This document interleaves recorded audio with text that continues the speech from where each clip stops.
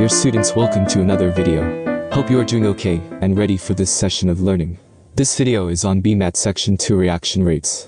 Let us now move on to the learning objectives. Here are a brief summary which you should know for the exam. Let's go. The rate of reaction is the change in the amount of a reactant or product per unit time.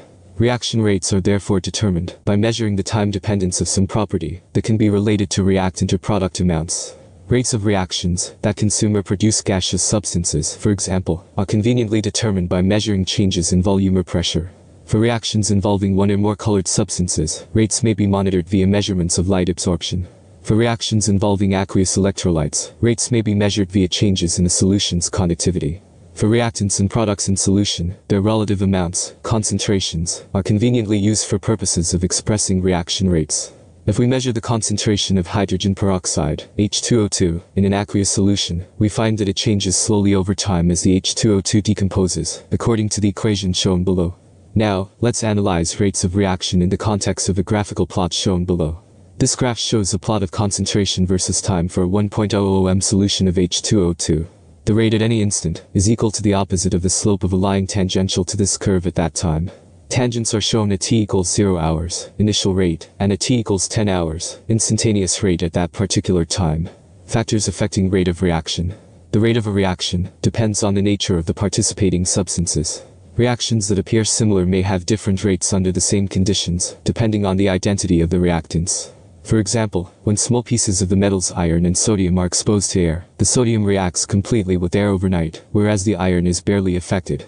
The active metals calcium and sodium both react with water to form hydrogen gas and a base. Yet calcium reacts at a moderate rate, whereas sodium reacts so rapidly that the reaction is almost explosive. The state of subdivision of the reactants.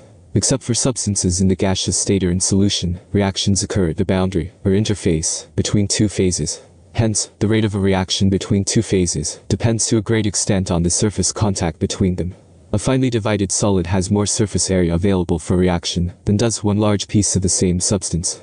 Thus, a liquid will react more rapidly with a finely divided solid than with a large piece of the same solid. For example, large pieces of iron react slowly with acids. Finely divided iron reacts much more rapidly, figure 12.6. Large pieces of wood smolder, smaller pieces burn rapidly, and sawdust burns explosively. Temperature of the reactants. Chemical reactions typically occur faster at higher temperatures.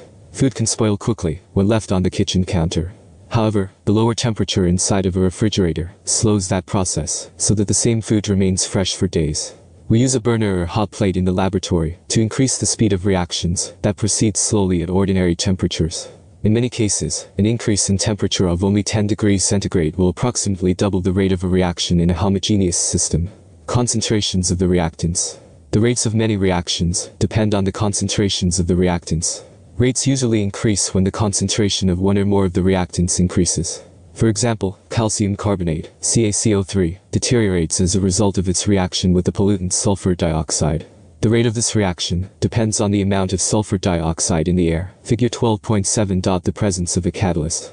Hydrogen peroxide solutions foam when poured onto an open wound because substances in the exposed tissues act as catalysts, increasing the rate of hydrogen peroxide's decomposition.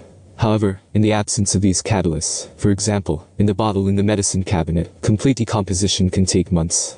A catalyst is a substance that increases the rate of a chemical reaction by lowering the activation energy without itself being consumed by the reaction.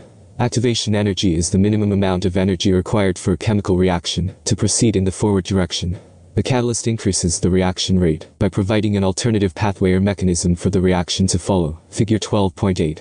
Catalysis will be discussed in greater detail later in this chapter as it relates to mechanisms of reactions.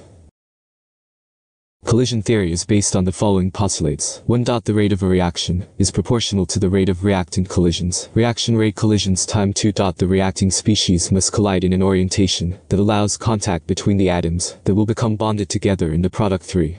The collision must occur with adequate energy to permit mutual penetration of the reacting species' valence shells, so that the electrons can rearrange and form new bonds and new chemical species. If the collision does take place with the correct orientation, there is still no guarantee that the reaction will proceed to form carbon dioxide. Every reaction requires a certain amount of activation energy for it to proceed in the forward direction, yielding an appropriate activated complex along the way. As always thanks for watching this video on reaction rates. The next video is on energetics.